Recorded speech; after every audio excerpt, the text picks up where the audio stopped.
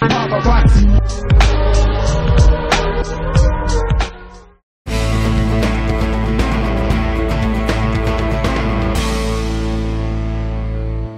did you feel or know that you were really going to stick with BJJ as a um, as an art that you were going to practice and as a career?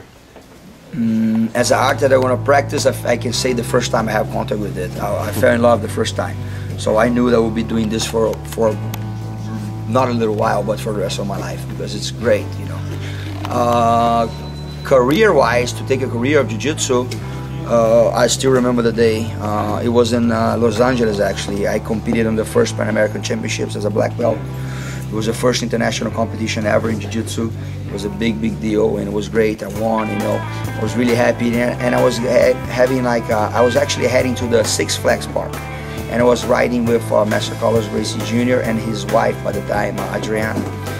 And uh, it was kind of like a one hour and a half, two hour drive, and he talked a lot about that, you know. And uh, Master Carlos actually was had an essential role in that. He said you know, Draculino, you know, I think you have something special in Jiu-Jitsu, not just your skills, but I mean, I think you can be really successful and pursue a career, and I mean, I think you have a bright future and all that. So he gave me the confidence enough to, you know, to choose between the law degree that I had by the time and uh, and leave, you know, on the jiu-jitsu lifestyle, teaching jiu-jitsu. You know, it was a hard decision, but uh, but uh, I'm glad that I made it. You know, so it was that day.